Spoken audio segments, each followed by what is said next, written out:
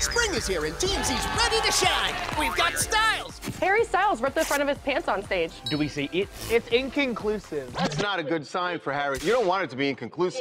We've got Bloom. Orlando Bloom opened up about his relationship. He says sometimes things are really, really, really challenging. Whoa. Three reallys?